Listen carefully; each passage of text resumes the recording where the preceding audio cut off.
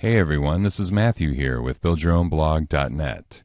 And in this video, I want to talk about the editor in your WordPress blog. You find the editor underneath the Appearance tab in your dashboard. So let's go over to the dashboard. All right, then you come over here and you hover over Appearance and then scroll down to Editor at the very bottom. Click on it. Okay, so now you're inside the editor and you're going to find a box here with a bunch of code and text all throughout this box as you scroll down through it.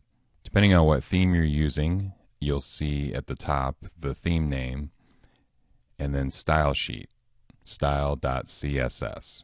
Like me, this may seem complicated to you because you're not a web developer professionally. And that's okay. Just keep in mind that the editor section is an advanced section for people that know code and want to create an advanced design for their website, more beyond the theme that you currently have. So if you don't know how to write code and you're not familiar with this sort of advanced uh, web development, I would just go ahead and not touch the editor and stay out of the editor.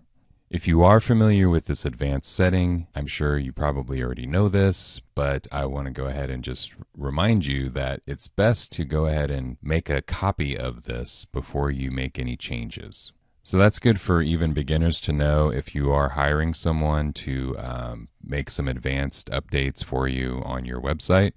Make sure that you back up or make a copy of uh, this code before you begin making changes on it. Because here's the thing once you make a change in this code, and then save it, you will not be able to revert back to the original theme unless you have that original code saved somewhere. So, really, even if the editor is too advanced for you, this is still a great thing to have in your back pocket. You can know that if you ever want to make more advanced changes in your design, in your fonts, and in your colors, you can always uh, have someone uh, do this, you know, work on this section for you, the editor section is where they can make those advanced changes for you. Or if you like learning, you're super industrious, you can learn how to write some code yourself. And then you can make those changes yourself. But just remember, until you know what you're doing, I recommend that you don't mess with the editor. Beginners will want to just stick with the customize section to make changes on their design, and that should be just fine for you to make changes to your design.